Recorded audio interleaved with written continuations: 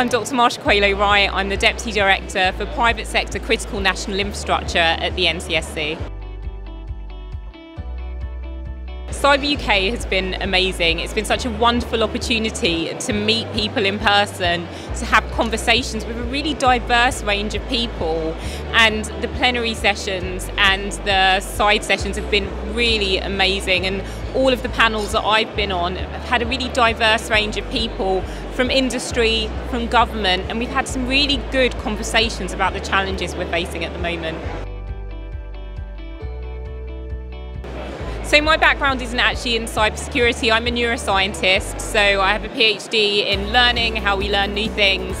I've spent a long time working in government on resilience, so building resilience to a range of hazards and threats. So everything from counterterrorism to natural disasters to cyber. And actually most recently I've moved into this role in the NCSC which is focused specifically on building resilience to cyber events in the critical national infrastructure sectors.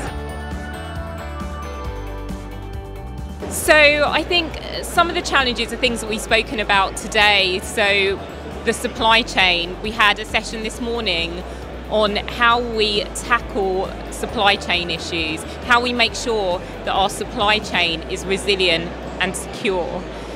I guess some of the other challenges we're facing are kind of recruitment of people with the right skills, making sure we're getting that kind of diverse range of people into cybersecurity roles, that we're educating people, you know, giving them the, the skills they need for kind of the jobs of the future. So, how to get more women into cybersecurity roles? I think that things like the Cyber First Girls competition are amazing because you're teaching people about what jobs there are available and making them understand that cybersecurity is an option for the future. I think we also have to get people like me, Lindy, the great women that we have working in cyber out talking to people so that they can see that there are people like them having wonderful careers in cyber and that will bring more people in. I think sometimes you need to be able to look up and see people who look like you.